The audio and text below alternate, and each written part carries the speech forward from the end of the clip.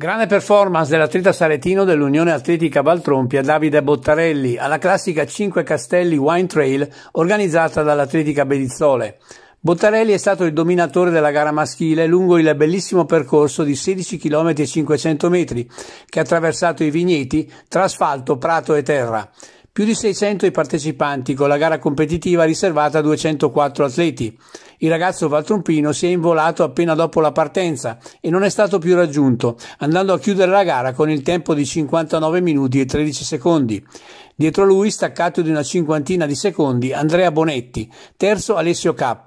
Tra le donne è successo invece della portacolori del Paratico Simona Angelini.